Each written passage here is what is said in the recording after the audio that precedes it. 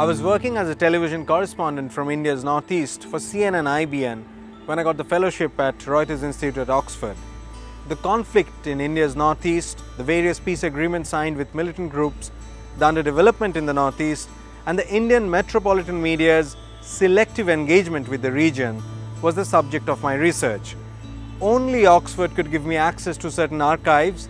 I could also use the India Office records at the British Library and Oxford just opens doors for you. Halfway into the fellowship, I was invited to Johan Galtung's Peace Research Institute at Oslo to give a talk, and then again at London, I was at the Royal Society for Asian Affairs to give a talk, and then again I was at the Ox Peace Research Centre at Oxford, and now I contribute to Oxford Analytica.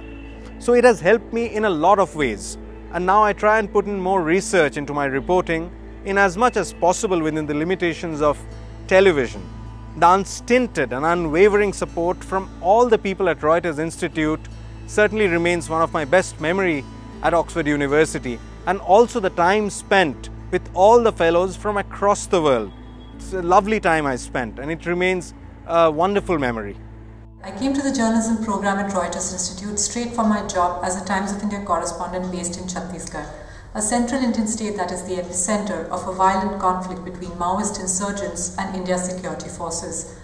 Chhattisgarh is also where indigenous communities called Adivasis are pitted against mining and energy corporations in a tough fight over land and resources. The fight is not always violent. In fact, most of these communities are using constitutional methods and are appealing to the courts to secure their rights. My research at Oxford tried to look at both these conflicts, the armed conflict and the resource conflict, and tried to see how the media reports them. The question I asked, which of these two conflicts gets more media attention and why?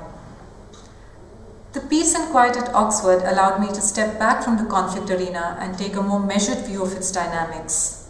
The university's fantastic resources, its network of libraries, gave me a chance to read widely on similar conflict situations all over the world. It was great to be part of this interesting community of scholars at Oxford, and in particular, the journalism fellows at Reuters Institute, who I got to know really well.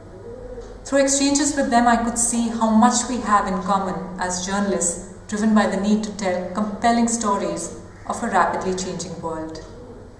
I'll miss 13 Norham Gardens for all the fun, the learning and the sharing.